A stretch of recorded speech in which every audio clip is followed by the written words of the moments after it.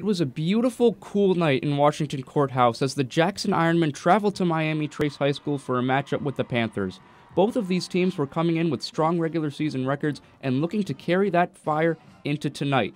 And it was the home team that came out ready to play. Early in the first quarter, wide receiver Ashton Connell would give Miami Trace an early 7 0 lead in front of their home fans. But the Ironmen's high powered offense could only be contained for so long on this drive, it was quarterback Jacob Winters who threw this sensational pass right into the hands of Cade Wolford. Tumbles into the end zone to tie the game at seven.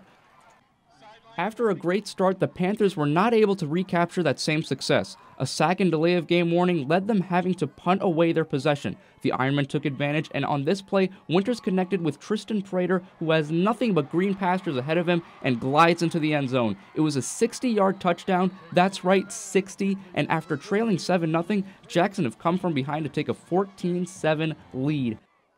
After Miami Trace was forced once again to punt, the Ironmen got right back to work. On this offensive drive, Winters struck again.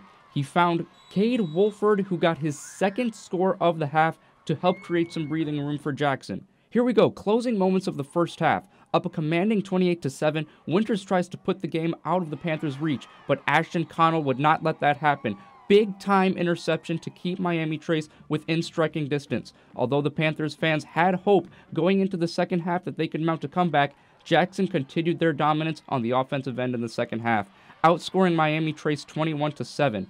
After falling down early 7 0, the Ironmen showed everyone who they were an offensive juggernaut that will be a force to reckon with as the regular season comes to an end. But don't forget about their stringent defense either. After all, they only held the Panthers to seven points in each half and barely allowed running back Jaden LeBeau to create any sort of offense for the hometown team. The Jackson Ironmen took the bus home with a win in their back pocket, demolishing Miami Trace 49 14.